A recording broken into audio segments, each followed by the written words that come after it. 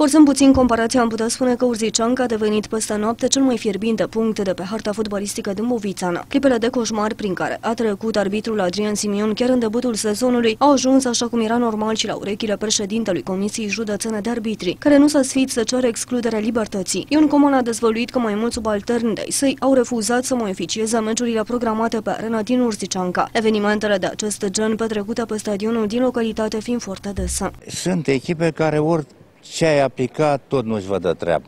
Și părerea mea că ar trebui să fie date afară din campionat, să nu mai căze probleme.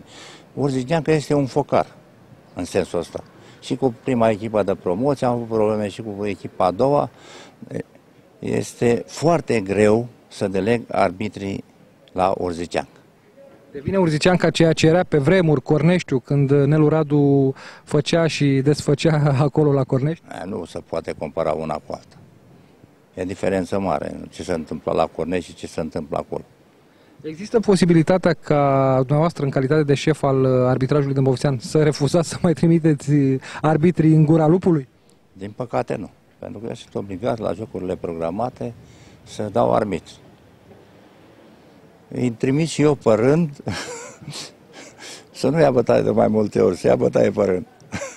Care ar fi, deci vorbim serios acum, credeți că excluderea echipei n-ar fi, din că n-ar fi deloc o măsură foarte dură?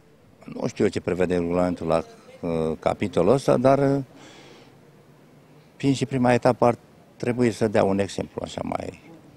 Acum urmează Comisia de Competiție și Discipline să ia măsuri conform regulamentului, că nu putem nici să exagerăm, că după asta ne critică ziarele.